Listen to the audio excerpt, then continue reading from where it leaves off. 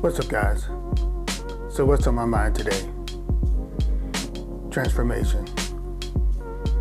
All right, let's get into this. I lust after you day after day, and you know it's true. From the minute my feet touch the floor, it's you on my mind and that special score. I opine about us sneaking away, my dreams of nailing you on that special field of play. And I know that you're playing with my head when you walk by my office door because you work on the sixth floor and I'm on floor four. But coming down to me isn't anything unique, especially since I know I'm dealing with a freak. Last night, we didn't get our chance because my wife was about. But tonight, after I shower, place the kids in bed, I will secretly work my plan out. You see, when my wife enters the shower, I'll start making my moves that very hour.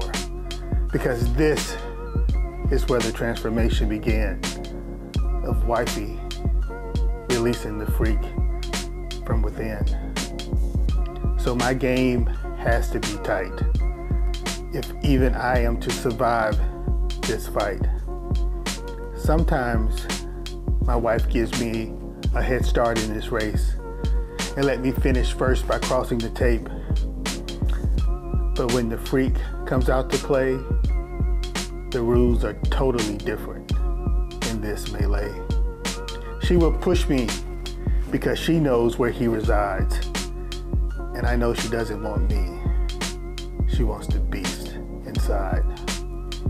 Because for this to be a fair contest, there needs to be two freaks occupying this happy nest. And when the dust settles and the buzzer sounds, it's full circle as we ratchet it back down I'll fold my wife's body into my arms. That freak.